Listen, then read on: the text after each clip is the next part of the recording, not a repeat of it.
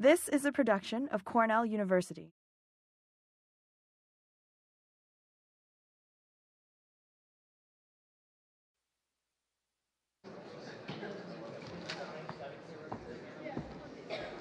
Welcome to the last of the summer lectures. That means tomorrow it will start to snow. Not really. Uh, if there's an emergency, please remember where you came in or exit through one of these exits. Again, I want to thank the College of Agriculture and Life Sciences for the loan of this wonderful hall. Um, they've been very kind to us. My name is Charles Jermy. I'm the Associate Dean of the School of Continuing Education. We're glad to have all of you here. Kavita Bala is a professor in the Department of Computer Science and the Program of Computer Graphics at Cornell University.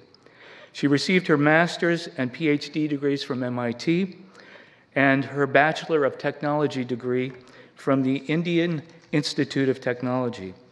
KB specializes in computer graphics, leading research projects in physically based scalable rendering perceptually based graphics, material perception and acquisition, and image based modeling and texturing.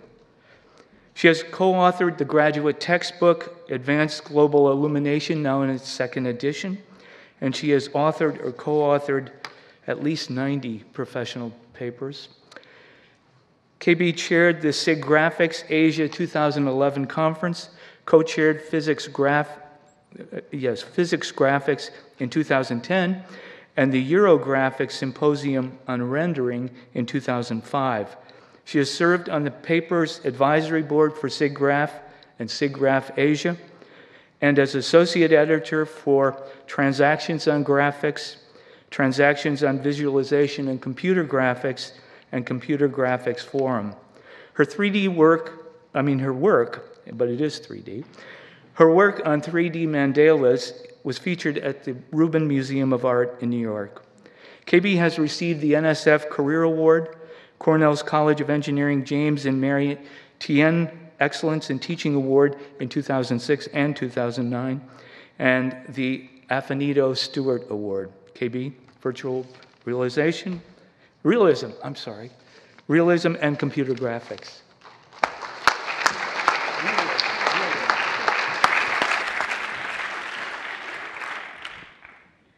Thank you all for coming in from, uh, there's a glorious day outside and yet you're here, so I appreciate your coming in here. Um, I'm going to start, what does it mean, virtual realism, and why does computer graphics have anything to do with it? So I'm hoping to tell you a little bit about this and a little bit about the role that Cornell has played in the field of computer graphics and the impact it's had on the world. So I'll speak broadly about actually all of the research that's been done here at Cornell in the graphics field. So last year, you may have seen many headlines like this one. Facebook buys Oculus virtual reality startup for $2 billion. And you may have thought, for that kind of money, I want to know what the meaning of life is. And they're very unlikely, unfortunately, to tell you that. However, the buzz has been relentless, so I'll try to tell you today at least what they're about. And so, what kind of buzz do they get? Things like this how Oculus Rift won Comic Con, or bit by bit, virtual reality heads for the holodeck. You may remember what the holodeck was. It was this science fiction show, the Star Trek science fiction show. It was this immersive environment there that could do magic. So are these guys really headed to do magic?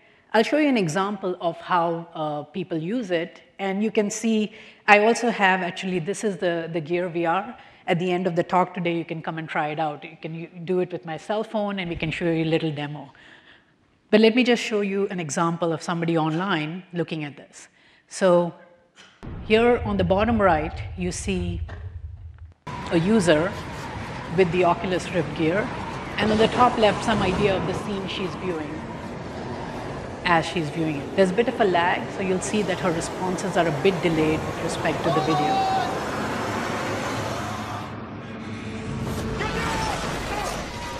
Right, at some point she, she starts. So that's, that's one video. This is a, a five-year-old kid. I always like to see how kids react to this thing. And on the left, you see the kind of images the kid sees, and you can see it's, it's challenging his sense of balance. And one of the things I noticed with kids versus adults, kids will actually spin around the full 360 degrees as they're supposed to. Adults like to face forward. So kids actually get how you're supposed to use this better than, than the grown-ups. So this is the kind of technology, that's a five-year-old, this is the kind of technology that he's just going to expect as given 15 years from now. And that's the world we're going to live in. Let me just tell you briefly how it works, just a little bit. They're called they provide these, these goggles supposed to, are supposed to provide stereoscopic 3D vision. So what does that actually mean? What it means is, in this device, each of your eyes will be shown an, an, image. And these two images might look almost like they're exactly the same. They're not actually exactly the same. They're a little different, different enough so that your brain, just like your visual system works and you get two different images in your left and your right eye, and you fuse that together to get a sense of 3D in the world, that's what this device does. It gives you two different images for your two eyes, and your brain fuses it together to get a 3D image. That's one aspect that makes them so compelling. The other aspect is, of course, this whole 360 aspect of it, which is immersive. You have sat in front of screens all your life, and you know that the field of view is kind of limited and small. Whereas in these things, you turn around and you see the scene there. And that sense of immersion is called presence by the, the, the, true believers of VR. And that's what they want to achieve, the sense of presence where you forget where you are in the real world and you're actually in this virtual world. So how these devices work is they look something like this. As I said, I have, that's the cheap version. That's just a $200 version uh, of uh, the Gear VR. But they have a, a, little strap that you put on your head. And the thing is you stick in your cell phone, which gives you two different images. And there's a bunch of circuitry. And that's it that projects to your eye, and it, it tracks your head, and it can look where you're looking. That's a $200 device. So as I said, it's a cheap version. There's a cheaper version still, not to be outdone. Google has the cardboard version of this that you can take and cut out and make it, at, make it at home, and then stick your cell phone in that. So if you want to go home and try this for $17, you can have the experience. Uh, but you can feel free to come up at the end and also try it out.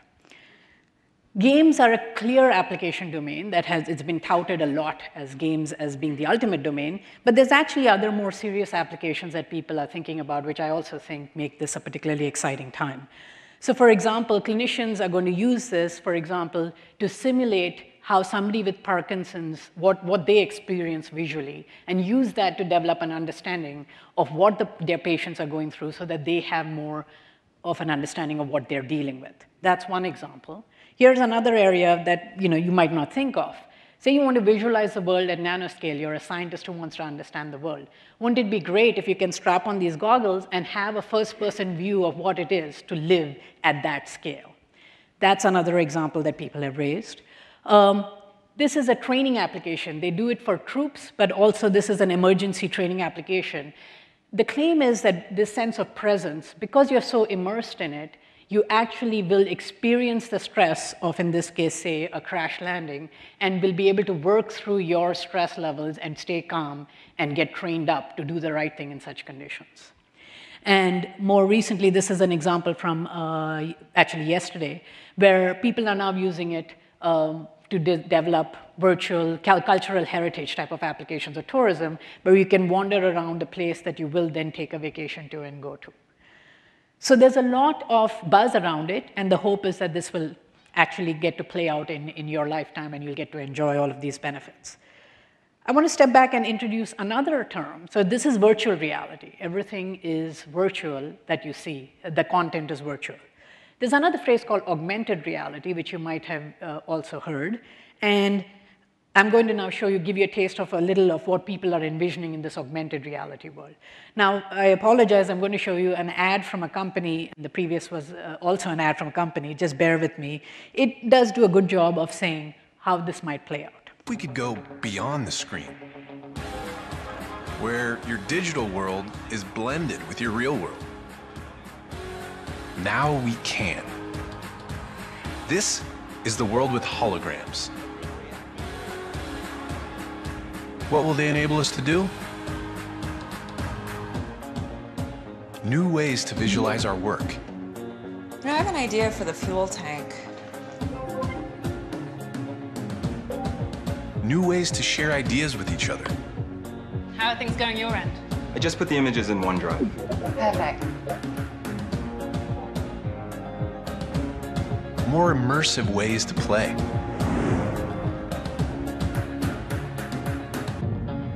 New ways to teach and learn. So put the new trap in the place of the old one Now what? and tighten here and here.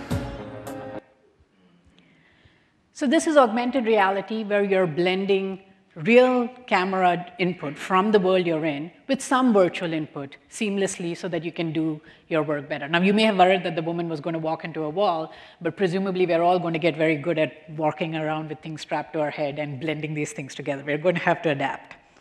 That's one example. There's, you know, there are other examples. For example, Mini is designing augmented reality goggles. They look to uh, the mic cut out, yeah. But they could be very useful. The idea is that if you wear these goggles, you can then sense your entire environment, and so you can become a safer driver because you'll know when you might be heading into a collision or you're too close to the cars in front of you or behind you. All right, so that gives you a flavor of, of all of the, uh, you know, what VR and AR are. Uh, what does computer graphics have to do with it? Well, computer graphics is the core technology that drives VR and AR. Computer graphics connects the virtual with the real. So you saw, for example, that model of the motorbike. There was this woman who was designing the motorbike on the screen, and then there was also a real motorbike. And computer graphics let her basically blend these two images together so she could overlay her, her vision of her fuel tank on the real motorbike and have that sense of seeing how it would play out. Now, if you think VR and AR are too pie in the sky, well, it's going to take 15 years before we get anywhere. I want to just give you an idea of how computer graphics is in your life right now, whether you realize it or not. You or some relative of yours, I'm sure, has at some point bought a piece of uh, something from IKEA. So this is from the IKEA catalog. A few years ago, IKEA announced that in fact, 90% of their catalog is virtually rendered that in fact it is not based on any real studio model. And in fact, I'm going to use this mnemonic of putting a, a, blue V for anything that is virtually rendered as not a real photograph. And this shocks most people because most people thought that they were looking at the catalog of, of a real scene, but actually it is computer graphics, and they never realized that it was not real. Uh, if you've ever worried about how your kitchens never look as perfect as theirs, now you know why. It's because theirs aren't real this idea of, of visualizing things that aren't actually real, eh, many companies are now getting into this. So for example, there's a company called Floored in New York City that is going to build such models of real estate for people who are trying to start new companies or get new homes, and they can visualize their entire layout before they actually step in. So here's another example. This is in fact interactive, unlike the IKEA ones, which take a, bun a bunch of time to render each image, but you can walk around how your office space might look before you ever sign up for that kind of interior design. Closer to home, if you've seen Gates Hall, which is the Computing and Information Science Department, which is where I live, uh, before the building actually came up, the architect showed us visualizations like this, and this was not particularly pleasing to us. We didn't have a clear sense of what was going on. But as the, the project developed, they started showing us visualizations like this. And so this was a virtual rendering of that building long before the building actually existed. And we all circulated this. This really helped the department plan as to how they would interact in, in this building. And just to give you an idea of how the building actually looks, if you haven't wandered down there to look at it, this is how it really looks. Now, there are some differences. In fact, the architects changed uh, what they actually built. However, it's pretty close. It's impressive how close it comes to the real thing. And so this is the art. The lighting is different, but the match is pretty good. The idea of using graphics to visualize events long before they exist has much wider application. You know that Cornell has played a major role in space exploration. You've heard about all the, all the Mars exploration we have done. Another domain where graphics simulation plays a big role is, in fact, in trying to simulate and visualize scenarios long before the mission actually takes place so that you can plan and you can anticipate different outcomes. For example, graphics simulation was used to visualize what would happen for the deployment of this parachute uh, before the mission. And then, of course, you still have to go to the planet and all hell breaks loose. In a place where fact meets fiction, you may have seen the recent movie Interstellar, now, what you may not know that, in fact, the physics that was simulated in Interstellar was actually very carefully done. The movie makers collaborated with the Caltech physicist to try to correctly visualize relativistic effects. And the belief is that, in fact, this is the closest people have ever come to understanding how this, a black hole might look. So that's how it computer graphics feeds into science, but we have wandered also into entertainment. It's always played a big role in entertainment. So uh, one example is uh, this movie, you may have seen it, The Curious Case of Benjamin Button. Um, the strip in the middle is the actual actor, and that's shown with the R there because that's how he really looks. But in the movie, what they did is they simulated his appearance both when he got young and when he got old. And if you've seen the movie, you'll know that it actually was very well done. It, was, it did not violate any assumptions of yours, and you thought that looked realistic. So that's an area where computer graphics has always played a big role. Um, another type of, this is not so much realistic appearance, but graphics has always been used for animated movies, and I'm sure you've seen this. Here, the goal is not to look real, but to actually just be believable and actually relatable. So you want to relate to the characters, even if they don't, that plastic blob doesn't look like anybody you know in real life. Movies invest a lot of money into making things look good. The other extreme of the entertainment industry is actually much more demanding, and these are games. And the reason games are more demanding is because the character, that is you, can walk around to an arbitrary place and they can't, you can wander into the part of the set that wasn't set up to look good. And so they're very demanding, but they have come a long way since the 80s or the 70s when, when there was uh, some progress being made in them. So to give you an example, here's the Madden uh, football games, and I'll just let you see it for a bit. So they're going to take these chances, to give their guys a chance to win. And the bad blood Wow, it sounds bad, but that's good because that means it's going to be physical on the field. It's going to be a lot of fun to watch. So that means LaMichael James will be back for the opening kick. And Stephen Hauschka looks set now to kick it away.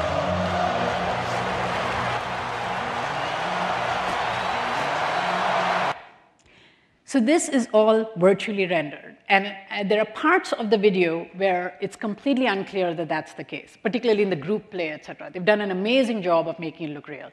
But there are parts where also it completely violates, or you see the person and you go, oh, that looks completely fake, how, how terrible. So that's exactly the challenge. There's an arms race here, and games and movies are continuing to push the boundaries so that 10 years from now, you're not going to have that reaction. You're going to probably accept that it actually looks real, and you're going to struggle with trying to tell whether it's virtual. Uh, here's another example from a game. Uh, this one is harder. It's tough to say which one is virtual and real. In this case, the left is real and the right is virtual. But actually, if you just look at the hills, if you look at that shed, it's very hard to tell. I had to look at the grass to finally figure it out, and I, I do this for a living. So uh, it took me some time to figure out what was wrong there. So how did we get here? Well, funny you should ask. Um, it turns out Cornell has played a major role in, cre in creating the field of computer graphics. So this is an example from 1974. So you all know, of course, IMP you know Johnson Museum. This was a visualization of the Johnson Museum before it was built.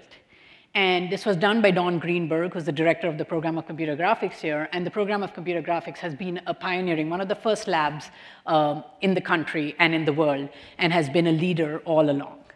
And what was amazing about this is people had not even thought that you could do this kind of visualization or you can use computers to do this kind of stuff. And this was done long before modern times, modern computing on very primitive hardware. So it's really amazing that they achieved this way back then, and it created the field that we are now all enjoying, reaping the benefits of. So let me give you a little idea of what is the problem that computer graphics tries to solve, okay? So you want to produce an image, what do you need to do to produce an image? So first, let's say we're trying to model this car. The first thing you need to do is capture the shape of the car, some model that represents the geometry of the car. And so traditionally that's done using CAD models, which is another area in which uh, the program of computer graphics has played a role. But we've done CAD models, and you represent a car, say, with lots of, lots of little, little patches or surfaces. That's the level of abstraction I'll talk about. So let's assume you have this very complex model, and often it's millions or billions of patches that represent all the geometry that you want to represent in a scene. So that shape, that's one big piece of the puzzle. The next is what's it made of. So that's the material part. So often, say you're designing a car, you'll have a widget like this that the designer will be playing with, and they'll uh, let you attribute a different color to the car. So for example, nowadays, if you want to go and buy, uh, this is an Audi, if you want to go and buy an Audi online, they will let you try different paints and to visualize how the Audi will look before you buy it. Um, Car paints are actually very interesting. They have lots of metallic, uh, they're called metallic paints, and making them look right was actually a very hard challenge. One of the early uh, pieces of work done here, again at Cornell, was by Professor Ken Torrance and his student Rob Cook, who then went on to become a VP at Pixar. And they showed how to make things look like metals. Before they did this research, everything in graphics looked like it was made of plastic, like that yellow ball on the bottom left. But what Rob and Ken did is they actually produced metallic models, and that's a, a, nice vintage image over there. But all of modern materials that you do that kind of metallic thing use are inspired by the work that they did here. So now we have the shape of the car, we have the material of the car. Is that enough? Not quite, as it was famously said, let there be light. You need light to actually see things. The light interacts with these materials and the shape, and it produces an image.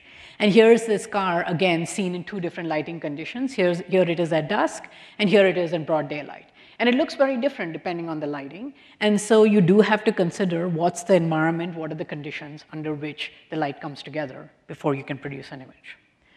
So put it all together, here are sort of the key players in computer graphics. You need to have some shape specification, some material specification, and some idea of what the light that's coming in, whether it's sunlight or indoor lights like this. And you take all that, you, I mean, an algorithm, a computer algorithm takes all that, munges for hours often, and produces an image that looks something like this. Okay? Is that all? Again, not quite, because the image is only as good as it appears to a viewer. So a key player in all of this is the fact that there is a human being who sees the image. And it is that human being who judges, does this, is, does this look fake or does this look real? And if you can fake the human being out, that's when you know you've succeeded and you can call it a day. So that's the computer graphics problem. I'm going to talk a little bit about the light simulation because that's something that we have done, um, Cornell has made big contributions in. And I'm going to use this particular scene to illustrate the problem. Now, you may ask why this scene. It's a room with two boxes in it. It turns out this is a very famous scene. It is called the Cornell box. It has its own Wikipedia page. And it was envisioned somewhere in the 80s as a simple but useful example to try to understand how light bounces around in a scene. And they felt if they could visualize this and get it right, and that on the, on the right there is a picture, then they were starting to make progress on figuring out how to solve this computer graphics problem. So why is it hard? So let's just look at it. You have a box, say, and by the way, this box actually, there's an actual model in Rhodes Hall. You should go and check it out if you have the time. So if I want to figure out what light is arriving at this blue point, I can connect up a ray from this point to the light, and I can do some computation of the physics of light based on the energy of the light, et cetera, the geometry of the scene, and come up with some number that represents the en energy arriving at that blue point. So you may say that's not such a hard problem, and if I did that, I would produce an image that looks like this. Unfortunately, this isn't quite the whole solution to the problem. And the reason is light doesn't only arrive at that blue point directly from the light source. What actually happens is light bounces around. And in fact, in a scene like this, it can bounce around millions of times, and there'll be very, very complex paths, and all of those paths then converge at that blue point, and you need to compute all of that to produce the image on the right as seen here. So you can see it makes a big difference to get the global illumination right.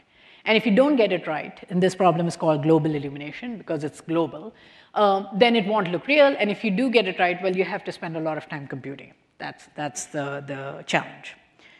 So back in 1984, the program of computer graphics, this is Don and Ken and their students, introduced a technique called radiosity, which was breakthrough in the results it achieved. One of these is a real image, and one of them is, one of them is a virtual image, and one of them is a real picture of the box. And this was back in 84, where again, computers were very slow. It's kind of shocking that most people cannot tell the difference between these two. It turns out left is real and the right is virtual. It's very hard to tell just by looking at that. And so this was breakthrough uh, uh, work. And in fact, it was adopted by many early games. So Quake and Descent, uh, which are games invented by John Carmack, who's now the CTO of Oculus Rift, the designer of the VR, used all of the Radiosity technology. And Radiosity, in fact, became a core rendering engine in Autodesk products used for architectural walkthroughs and industrial design. So that was a great start, and off nearly 20, 25 years ago, 30 years ago even. Um, and was that enough? Well, that was a good place to start, but Radiosity had to make some assumptions. It assumed that materials are diffuse, that they aren't shiny, they aren't translucent, they aren't transparent. And that, unfortunately, the real world is much, much more complex. So here are a bunch of photographs just from Flickr of people's homes, and you can see there's a lot more complexity to the kinds of materials in the world. There's fabrics, there's glass, there's mirrors, metals, woods, ceramics. Adding all of this to the mix is the challenge that we've been solving since 1984. So let me talk a bit about how light interacts with materials. So when you have a, a, a, matte material, light hits it and just spreads out evenly. But for metals, for example, light might hit the surface and then bounce off in one direction or just a small set of directions. That's one of the challenges of, of computing light. Uh, translucent materials are very, very challenging to deal with. So what happens with translucent materials is light goes into the medium, bounces around, and comes out. And translucent materials are, unfortunately or fortunately, everywhere. The food you eat, your skin, glass, jewelry you wear, um, surfaces all around you, the leaves there, they're all translucent. And translucency, in fact, is very important because if you get it wrong, for example, in the sushi, if it's even slightly off, how it looks, you won't eat the sushi because you as a human being use information about its translucency to judge whether it's fresh or not. And in fact, there's another example of a translucent material which I'll talk about shortly. So the importance of translucency, you can actually see it here on the top right. Um, on the left is a picture of a, a woman's lips that the model without assuming translucency as a model, assuming just opaque materials. And you can say it looks plasticky, it looks fake. And on the right is what happens if you actually simulate translucency and it starts to look more like a real person rather than just a plastic doll. And the work for uh, introducing translucency to graphics was actually done by my colleague Steve Marschner, and that work got adopted by the entertainment industry, and it in fact used in a lot of the virtual, any rendering of skin pretty much uses their model. They won, in fact, a uh, technical achievement award for this work, and in fact, the program of computer graphics has had about 13 or 14 uh, technical achievement awards over the years, with various of our alums getting them because of our contributions to this area. So what I'm going to do today is talk a bit about some of these challenging materials and just try to give you an intuition for why they are challenging and then what you might have to do to make progress in, in achieving true virtual realism. And I'm going to pick two examples. One is white jade, and these are actually photographs shown by the R, and the other is silk. We care about fabrics a lot. I'm going to talk about why fabrics are actually hard to simulate and what you need to get right. So let's look at one of these projects. First is what makes jade look like jade. So this is a problem actually that I, uh, it's a collaboration with Ted Adelson, who's a perception psychologist at MIT, and Todd Zickler, who's a vision scientist from Harvard. And the three of us were spend, have spent about five years on this project trying to understand why white jade looks like white jade. And in fact, the big motivator for us was this particular example. This is a photograph of a Chinese emperor's uh, dragon seal, and it sold for a million uh, pounds a few years ago. And we just loved looking at this example because it's exquisite. And you can see that there, is this, there are these ribbons of, of material, of white jade, and there's ribbons of light that flow along with it. And we, didn't, we could not simulate that in computer graphics. Computer graphics at that time did a great job of getting the base looking right, but not the, the rest of the, the, the model. So why does this look like it does? I'll give you the answer first, and then I'll tell you how we understood it. So the answer as to why it looks like that is because it matters how light scatters inside the, the material. So how do we, we characterize that? So at that time, we did not have access to white jade. We just were salivating at that beautiful white jade sample. Um, so we had soap and we had wax. And so we used that as our models because we could get access to them on our, our research budgets. And what we did is we took these two and we studied them. We had models made of this, this frog prints, but we also made blocks of these materials of soap and wax. And then you shine a, shine a laser at it, and you take a photograph from the top, and you try to look at that photograph to see what is the light doing inside these media. So for soap, light scatters and produces this characteristic, what we call the teardrop appearance. Whereas this wax, and it's a very special wax called Pyravax, which is used to, to polish floors, but it looks beautiful. And wax actually behaves very differently. The light goes into the medium and then it turns back. It scatters back, which is not typically done in, in, in the soap. And so this, we call the shape an apple shape. And what we realized is if we could capture these properly, this, this scattering of light properly, then we are able to simulate these materials to look realistic. So the student who was involved with this project then went off and measured a whole bunch of materials, mustard and milk and coffee, wine, um, soap, of course. And he then produced renderings like this. This was a 3D scanned model of soap. And you can see that for, for the first time that we were able to actually produce this classic appearance of this light when you shine it from behind, of this thin ribbons of light that come in these thin features. Now, you may say that's a lot of effort expended just on soap, but it was the most realistic soap I think that there has ever been rendered. And in fact, we could do a broader range of materials, olive oil, uh, curacao, and milk. So I've given this talk about this work before, and Joe and Pauline Degenfelder, who are in the, in the audience right now, saw that work, and they very kindly, uh, uh, Joe approached me and said, you know, he, I have jade. And so they very kindly have given us this model of white jade. So you are welcome to come and see it later.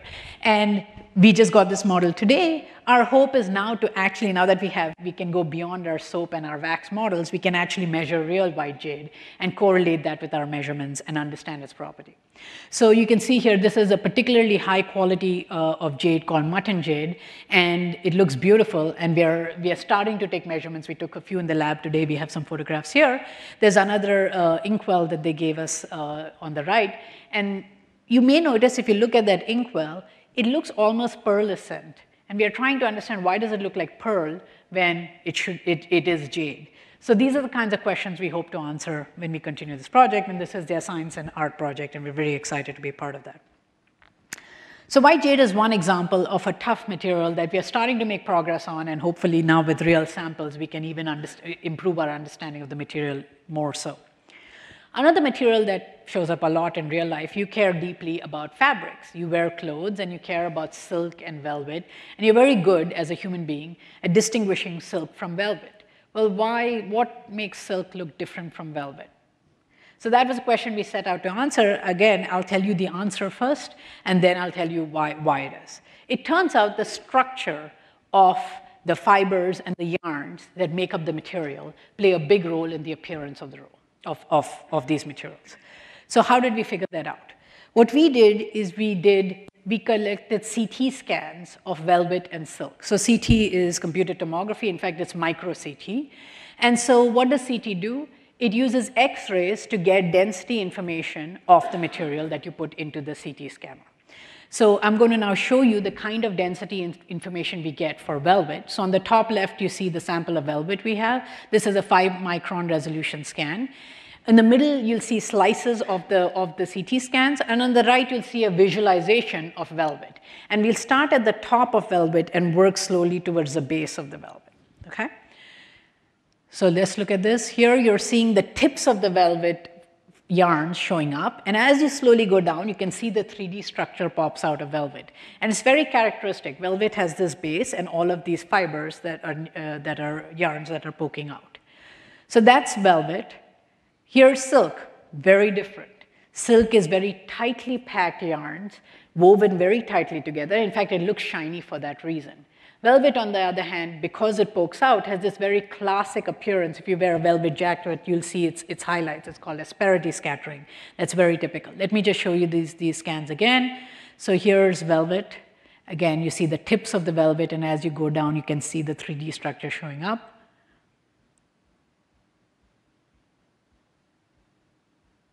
And on the right here is, is silk, which is very tightly woven uh, yarns interlaced with each other. Once you have this model, and so these are micron resolution models. Remember I was talking about capturing the shape of materials. We're talking about huge volumes of data to capture their, their appearance. But once you have this model, you can take a photograph to give some optical information, and you can put that together to get a complete model. So here is our rendering of silk, of red silk. And you can see this is a virtual rendering, but you can see that the highlights look like silk, and this is uh, the highest quality renderings of silk to date in computer graphics. And then here is velvet, and as it spins around, you'll see the classic highlights that velvet has on the rim. So you look at it and you know it's velvet, and you'll never mistake this for silk as a human being. You may have also noticed uh, even though you were focusing on the video, that the time it took to compute each of these was 240 hours on, uh, on one core of a computer, and the previous one was 500 hours. So this is not ready for virtual reality anytime soon, but is there to at least give us good visualizations that hopefully we will then use and, and work on to produce interactive demos. And in fact, you may have heard that nowadays you can walk into certain big department stores like Macy's and they will do a full body scan of you and get a virtual avatar. One of the applications of the kind of work we are looking at in this fabric rendering is to let people try out virtual garments instead of having to go in and actually try them out for real. So this is a, this is a big area that's actually a booming area that's coming up. And we're working with textile designers in the Rhode Island School of Design to get this technology out there. So let's step back again. I've talked a lot about materials, you know, jade and, and fabrics. I've talked about shape by doing these micron resolution models. I've not talked as much about light. So how do you actually compute light efficiently? So that's one of the projects that we've been working on. This is actually a decades-long project, and I'll give you a hint of how you go about making some progress here. So first, let's look at what happens to light in complex scenes. Now, I showed you this as an example of a scene that was earth-shattering in 1984, but of course, it's not very complex. The real world looks something like this, and what we want to do is simulate light in, in a kitchen like this one on the right. So why is it so hard to compute light? So I'd shown you this earlier picture of light where you trace the light out from the light source and you go and you hit some surface. Well, when it hits the surface, it actually sprays out in all kinds of directions. And I'm showing here three different directions that, that it might spray out in. But realistically, if you want to do a good simulation of light, depending on the, on the materials you have, you might want to trace about thousands of rays outward in those light blue rays. Now, each one of those thousand rays goes forward into the scene, goes and interacts with other surfaces, which each in turn spray another thousand rays each. So you quickly can realize how the computation gets out of control. So in your first bounce, you have 1,000 computations. And by your second bounce, you have to compute million computations. And by the third, you're at a billion computations. So even though from 1984, computers have gotten 1,000 times faster, that's not quite tracking this billion-fold computation complexity that we need to manage. So why do we have any hope of making progress? So this is a problem, as I said, we've been looking uh, at for a decade or so in my uh, group, and I'll give you a, hint of how we, how we do it. Here's a model of uh, the Kalabsha temple in Egypt, and this is actually a cultural heritage uh, application where people want to visualize how this temple looked back in its heyday before modern times. So if you have a scene like this and you're trying to visualize how it looks, and this is joint work with uh, Bruce Walter and, and several of my students, um, as I said, what you want is to really fool the observer. As long as the observer is fooled, you're fine.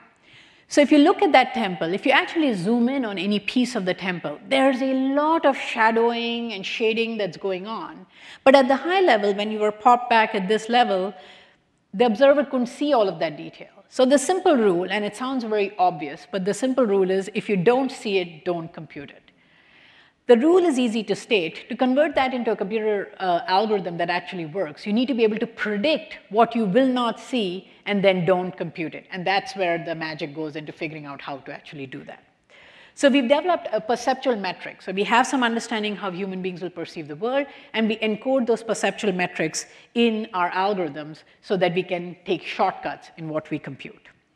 Now here's that same scene, and now I'm going to show you it at a slightly different time of the day. So say it's, at, it's nighttime now, and it's a foggy evening, and the light now scatters around. It turns out that fog is extremely difficult to compute because you have to, like a translucent medium, the light bounces around in all kinds of directions. This is extremely slow to compute. But as you've probably realized, if I look at that region again, as a human being, you really don't care about all of these billions of computations that are being done to compute this image. So this is, Mies van der Rohe said, less is more. This is a case where more is less. And more complex computations are actually often, they overwhelm the visual system. And so you can take shortcuts that you could not do for the simpler scenes. And this is a very counterintuitive result, but plays a big role in computer graphics achieving very good visual results for very complex scenes. The more complexity you add, whether it's trees, whether it's very highly textured surfaces, the less the visual system is finicky about the accuracy. of the results. So exploiting that is something that we in, in our field spend a lot of effort and time on. So we have built on this sort of high-level insight to now simulate all kinds of materials and complex scenes, mirrors, metals, ceramics, translucency, glass, natural lighting. So that image on the right, these are all virtual images and they're not real photographs.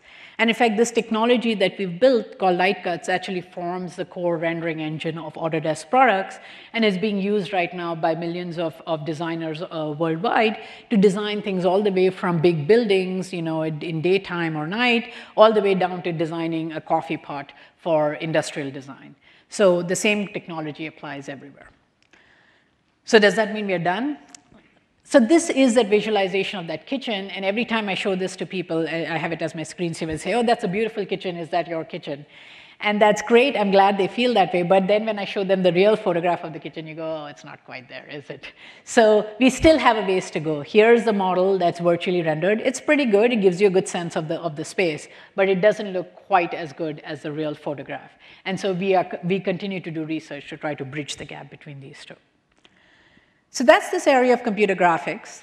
There's another area that's a, sort of the sister field of computer graphics, and this is uh, the area of computer vision. So I'm going to go back to that picture we had of how computer graphics connects virtual and real. Computer vision is sort of the, the, the converse problem or the opposite problem. Graphics takes us from virtual images and tries to produce images that look real. Computer vision takes real images and tries to infer information or models of the in the virtual world. So I'm going to use one example on recognizing materials to, um, as to motivate why this is an interesting problem and why it's hard. So several of you might have seen a model, uh, um, uh, several of you might have a robot like this one called the Roomba. It's supposed to clean your house. We have one. It's more of a household pet than an actual. Uh, it does clean, it does clean. But um, say the Roomba is going around, it faces a very real problem when it hits new surfaces. It needs to figure out what is this material that it's seeing. Now you looking at the scene can immediately tell the Roomba's on the rug, it just got off the wood, and there seem to be paper, uh, lots of little paper pieces over in the rug. But for a vision algorithm, those white pieces could be paper, or they could be cream cheese, or they could be something else. And depending on whether it's paper or cream cheese, the Roomba has to react very differently. So this problem of recognizing the materials in real-world images is something of great practical impact for robotic applications and also the augmented reality applications. So for example, if you're wearing your augmented reality glass, what you'd really like to do is walk into a room like this and automatically have the computer tell you, this is a living room, and these are the objects in the living room. There's a mat, there's a floor, chair, etc. And in fact, these are the materials they're made of. Now, maybe you can immediately recognize this, but a robot can benefit greatly from understanding this is what the scene is made of, and if it's a cleaning robot, then it'll use a different cleaning uh, type of uh, device for the plastic chair than it will for the wood floor or for the fabric sofa. So scene understanding turns out to be a very important problem that we're increasingly seeing uses for, but why is it a hard problem? Why can't, uh, I mean, you can do this, you can immediately recognize all these things. Why can't the computer automatically do that? So let me motivate uh, uh, a little why this problem is hard by showing you a little optical illusion that my colleague uh, Ted Adelson designed. So here's a scene on the right, and it's, I think you look at it and say, this is a cylinder casting a shadow on a checkerboard. And if I asked you, there are two patches A and B, can you tell me what the, uh, which one is the lighter patch and which one is the darker patch? You will tell me A is darker and B is lighter that fair? Raise your hands if you agree with that. Good. Well, it turns out that when you look at the image, though, and I'm going to add two vertical lines here, they're both the exact same gray value. There is no difference between A and B. Now I'll flip back and I'll show it to you. A is clearly darker than B to your eye. And yet, when you measure the image, I'm not playing, when you measure it, you can go and I will post these slides online. They're exactly the same color. So what's going on here? What's going on is your visual system, your brain is looking at the scene, it's making an inference. It says B is in shadow. So even though it's a certain, let's say 0.5 gray, it's actually a very light material that happens to be sitting in the dark, and so B is actually quite white. A, on the other hand, is sitting in bright sunlight and it's 0.5, so it's actually a dark material. Your brain is automatically doing this, but a computer vision algorithm has no way of figuring out that this 0.5 is different from that 0.5. And that's why scene understanding is a very, very challenging problem. So Ted came up with this illusion, and this is, and lots of people have banged their head on trying to, uh, to solve this problem. And it's one of the reasons why material recognition, understanding what materials there are in the world, is in fact a very hard and challenging problem. So why do we have any hope of doing anything here? Well, so it turns out that we are at a very nice point of time where there's a ton of data out there in the real world that we can use to learn from.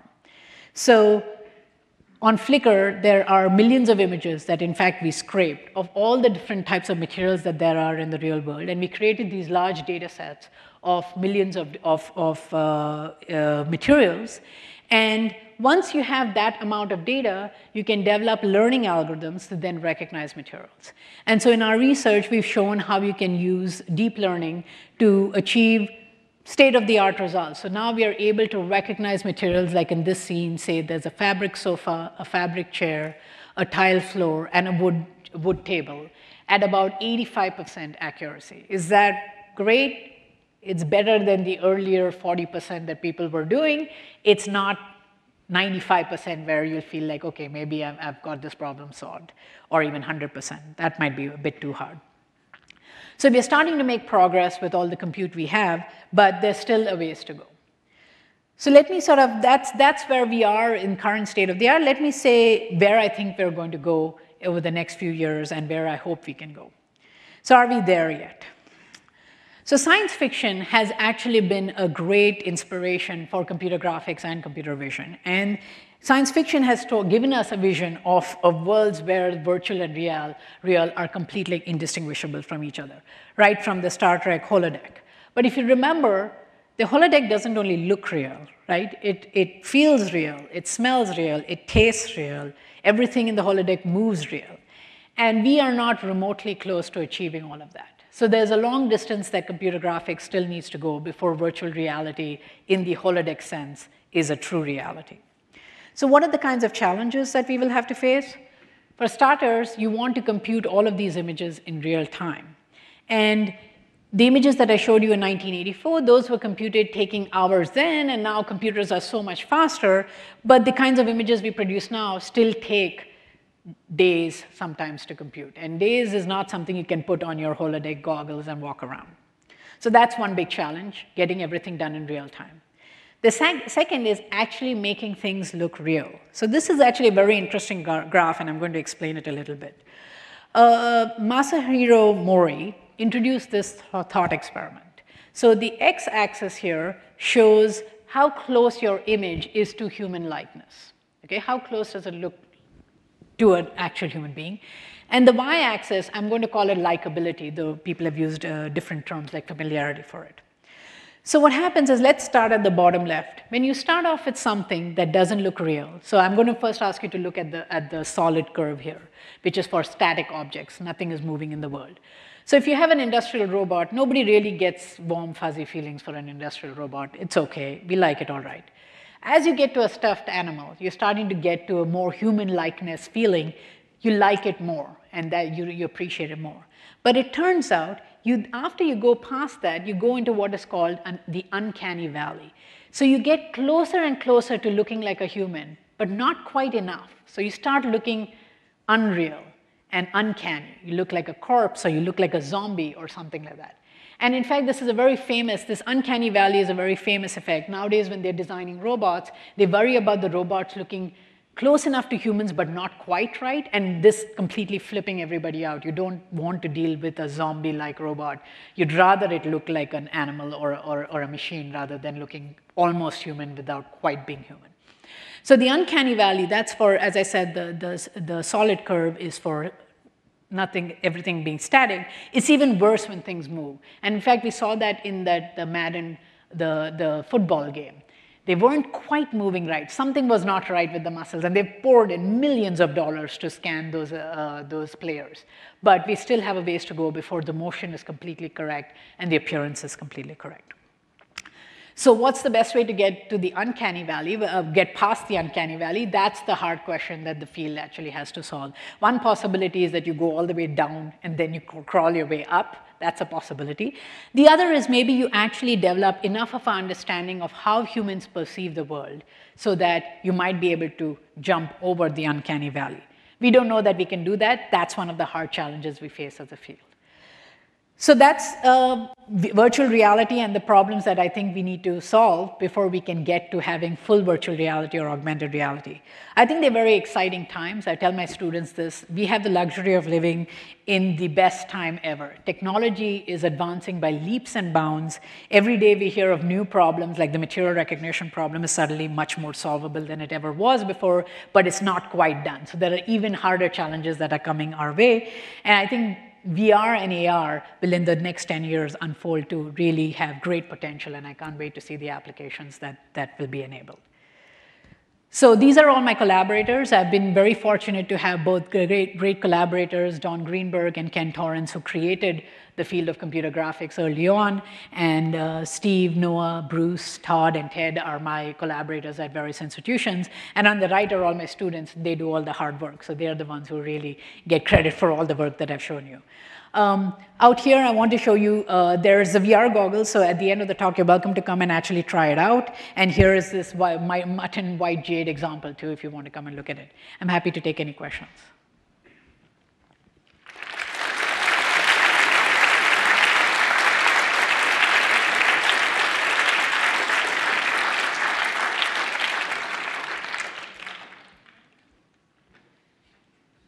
Questions? Yeah.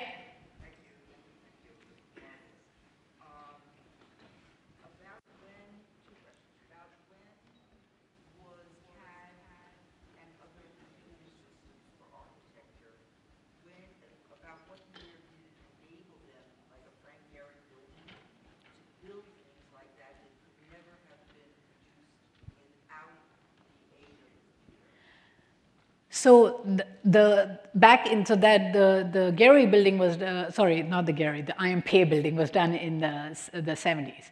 CAD has been developing since then. In fact, CAD was one of the first computer graphics tools. Nobody was worried about making things look real. Just getting the shape was one of the hard problems. And so in the 70s and 80s was when CAD started becoming usable. The 74 one, the I.M. Pei one, I think they did it manually before then. And about late 70s, it was getting useful enough that you could use tools, but not, not the way it was in the 90s. In the 90s, it had become much more seamless. And, and, and in fact, one of the big things in the 90s is we started getting technology to do scans. So we would do 3D scans. So now you wouldn't have to go and implement everything when you're building a building. You can actually take scans and try to build models from scans. Yeah, please.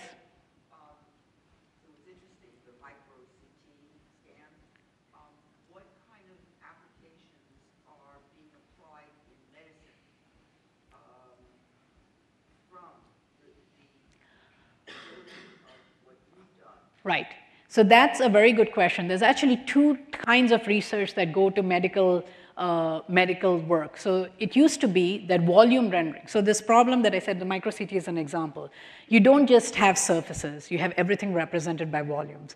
And volume rendering was a core part of computer graphics. And actually, volume rendering is what you need for medical applications because you have these slices and you want to visualize them, you want to visualize anomalies.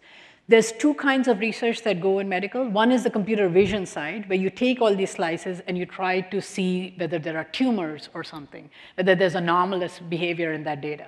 That's the side of computer vision, and in fact, Ramin Zabih, uh, one of our uh, faculty members here, works with the Weill Medical School. They're doing some nice work there.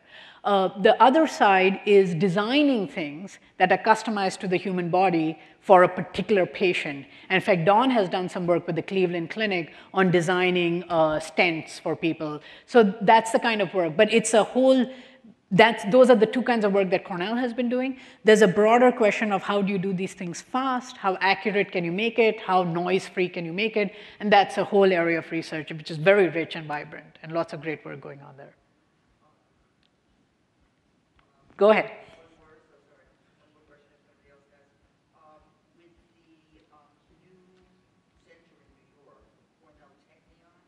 Yeah.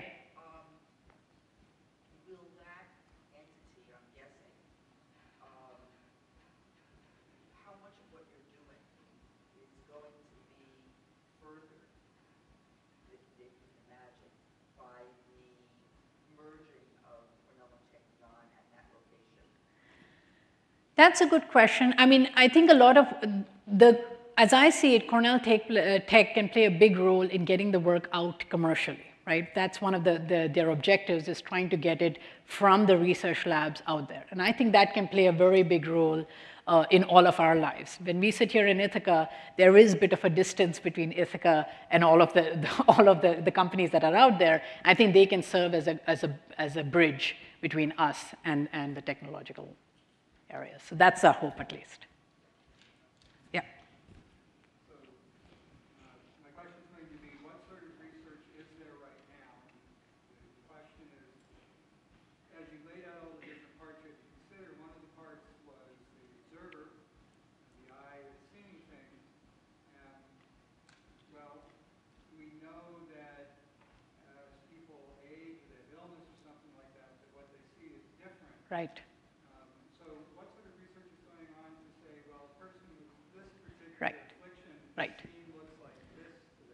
Yeah, there's a very nice research on that. Actually, Brian Barsky, who used to be a Cornell alum and is, uh, has been at Berkeley for like nearly 20 years, has been working on trying to simulate different visual problems, you know, myopia, uh, and myopia is a simple one, but much more complex ones, different astigmatism, et cetera. So one is just to simulate it to train people. The other is to invert it to try to see if I'm given an image, how can I invert it, show it to a person who has that condition so that they see something that approaches normalcy. And that's a much harder problem, but there's a very rich body of research that tries to do that. And you know, people keep making progress on it, but uh, very nice work actually. They will actually try to design, I mean, uh, model exactly all aspects of the visual system, simulate the physics through all of that, and then try to reverse engineer and invert the problems that arise. And it's a rich area, and, and they tend to actually relate very nicely with medical applications, so they have strong ties to the medical community uh, and with doctors typically that to help. And I'm happy to give pointers to the kind of research that's done there offline if people are interested. Yeah. Water is by far, as I've seen from video games, one of the hardest things trying to realistically because besides the challenges in graphics, you also have the challenges in physics. Yes. Has your lab done any work trying to make water look graphically reasonable? Yes. Uh, yes and yes. So I did not talk much about motion other than saying it's very hard. And actually, one of my colleagues, Doug James, who uh, did do exactly water simulations. Water, uh, there's been some really nice work out of Stanford, and now Doug's actually at Stanford, but Ron Fedkiw's group has done some of the best work on water simulations, and it's state of the art. And in fact, if you see movies, they do a pretty good job on water. Um, because they have these kinds of simulations. One of the things that they focus on now is actually making water be more controllable. So not only do you want water to flow right, but also flow under some artistic direction. That's been a big area. But there are always new challenges. Water, fire, um, things like that, wind, you know, all of these are examples of, of challenges that different areas of graphics have dealt with. And there's some good work there that we're starting to get to very believable results. What's harder is doing it real time in games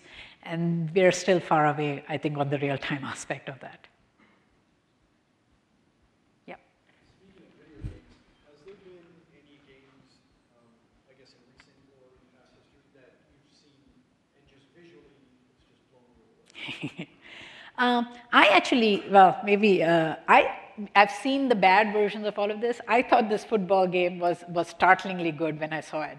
Um, and let me just, and I didn't describe how people do that. How do you get these players? They do full body scans and motion capture of these players. They you know, put all kinds of markers of them and scan them completely, their skin, their cloth, everything like that. I think those are examples. Often with games, there's really two modes. You see the early, sort of the preview trailer, and there's some very nice effects there, but those are computed offline, and the game has to take shortcuts uh, because it has to be interactive. Um, I think, you know, you just look at all the latest titles, they all look pretty good, and then next year they look even better. So that's just an arms race, and it's, they're doing well.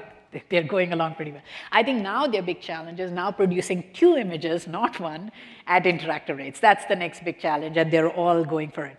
The current state of VR is a big part of it. Virtual, producing two images that are really beautiful and realistic is hard. A big part of VR right now is actually putting cameras out there that are capturing live content for the, the virtual reality. So that, and I showed you the, the five-year-old playing with that. That was a visualization of Iceland. And they flew a helicopter with a bunch of cameras hanging below the helicopter. And they captured it's just a gorgeous uh, visualization of Iceland, actually. And it's, it, it's real footage, and then you can go in and you can walk around and you feel like you're hanging over a gorge or you're wandering into, uh, you know, you're seeing horses running below you. Um, it's worth playing around with that, that demo. I think that's one of the big challenges. But that's real content, showing it to people. Virtual content will follow in a few years. Not quite there. Yep.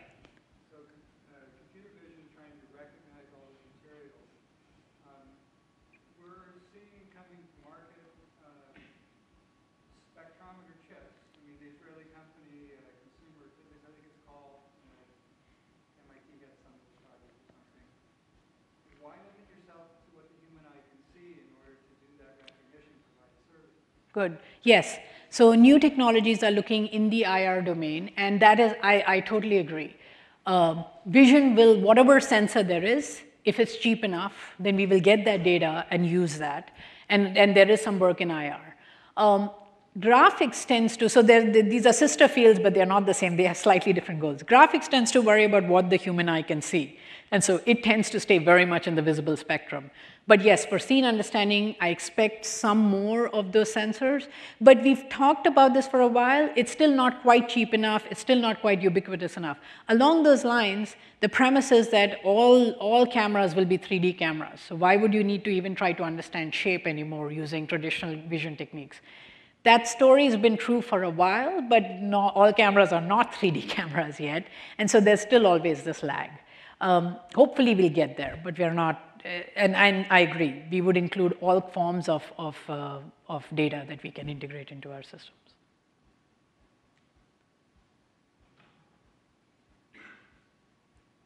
Any other questions? Yeah.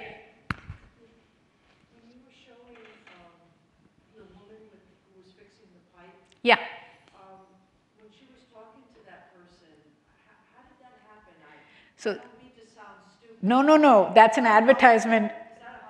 That's an advertisement from Microsoft, so that's how they think it'll play out. So for starters, that, that, that technology isn't quite there yet. That's the HoloLens technology. I showed it mainly to Envision. So the idea would be they're both sharing the same camera feed of the pipes, right? And when he marks it there, it will go to her goggles and it'll be overlaid on her feed so that she, she can see the arrow showing up. That's how it would play out if it works. Which well, the other woman, when she was walking to the um, motorbike, the motorbike, right? There was a, the screen was in front of her. Right. So they're playing a bit fast and loose. Right.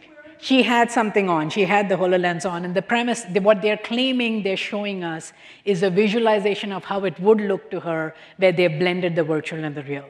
Somebody else watching the scene will just see this crazy woman waving her hands around, but she gets to see the overlay of the virtual on the, on the real. That's, that's what they're trying to sell us on. And that there are augmented reality is starting to get there. So it's not quite as beautiful as they made it sound because that's an advertisement. But that's what we're hoping to do is overlay enough information in real world scenes so that you can blend the two of them together and do useful things. And you see it particularly, the, the kind of AR goggles where you see for cars, I think that's very doable, where I've actually seen demos of them showing things like, um, you know, a visualization of a stream of traffic coming in or something like that. Are we, are we close to doing like holograms? That's, right.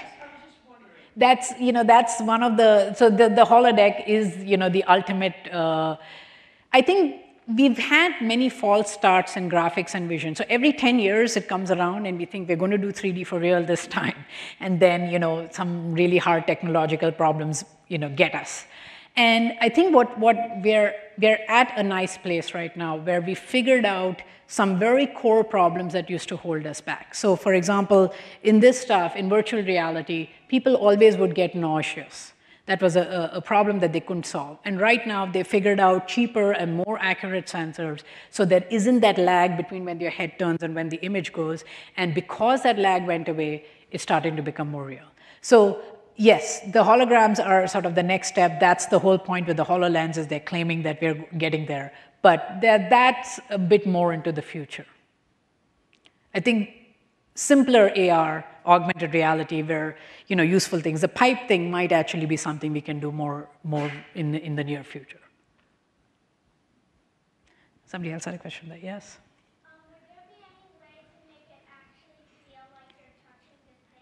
That's a very good question. Yes. So there's a whole area of research called haptics.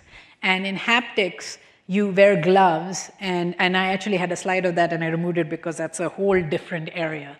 You're supposed to have pressure sensors on it so that when you touch something, you might start to feel, feel some of that. That field, again, goes, you know, it goes cyclically. Right now, it goes up and down. Right now, there are these nice phantom gloves that are starting to give useful feedback, but it's still not quite to the level where you could feel silk, and that'll feel completely different from uh, uh, paper. I've actually been talking to some researchers in the perception side. They're building some devices, but they're prohibitively expensive right now. So that's a bit more into the future than where we are now. Yes?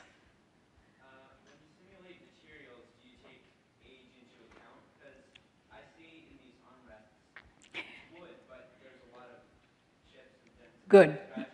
Yes. So aging is, there's a whole line of research in computer graphics that actually simulates aging. So there are two ways to handle it. One is you start with a clean slate, like the IKEA catalog, and then simulate the kind of, it's called weathering actually, and different weathering simulations where the rain is falling on it. And in fact, Julie Dorsey, who was my advisor, who was a Cornell alum, did some beautiful work on patination and stuff, which is still some of the better work in this space. That's one way of doing it. So there are very, very detailed simulations to try different aging effects. The other possibility is that you take a camera and you capture it in the aged state. And then you capture it at different stages of aging and then try to blend it together so that you can get any level of youthfulness. All of these have been tried, and they, but there, there remains more work to be done to make it even better. Um, it's not quite perfect often computer graphics, the big failing of computer graphics, it looks too clean. That is one of the known problems. And so you have special, when, when, you're, when they're making movies, they'll have artists paint in things like scuff marks and stuff to make it look more realistic. That's a very good question. These are good areas. Yeah.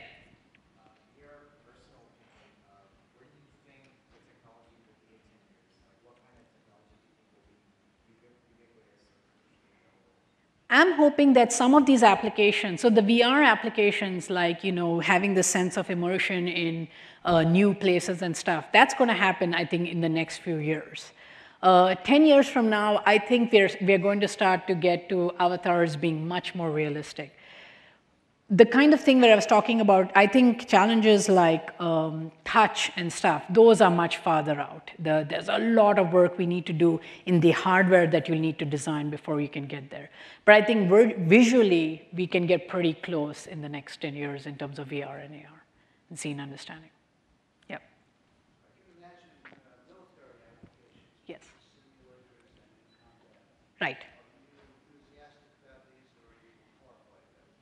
They exist. So it is not for me to have, you know, the, the, the world is what it is. So uh, there are these games that are used. Uh,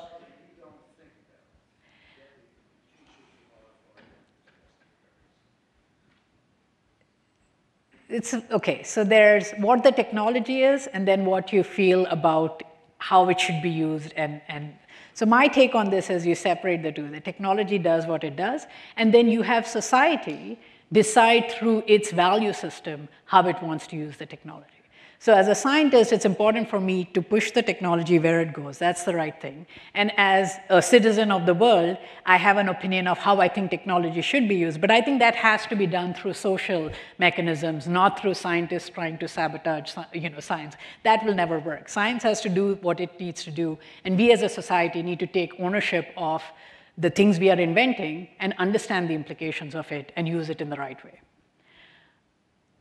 That's a partial answer to what we can do. It's a very complicated question. There is no easy answer to how we should be using. I mean, this is a broader question. Technology is amazing. The things we are doing are astounding right now. But for every good thing, there is a bad side to that technology, right? The internet is wonderful. Without it, we would all be stupid and clueless, right? I mean, you can look up anything right now and you can appear intelligent just by looking it up. By that same token, the internet is full of horrible, horrible lies, horrible stuff, which, since there are kids in the audience, I won't talk about, but it, you know it exists. And so does that mean we shut down, you know, technology? No, you, we as a society need to learn to use it responsibly. And I hope.